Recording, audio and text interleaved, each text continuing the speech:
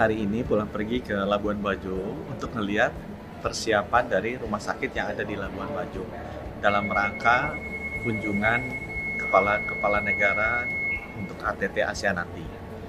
RSUD milik pemerintah daerah ini baru dibangun, memang belum selesai secara lengkap, tapi fasilitasnya ini lengkap sekali.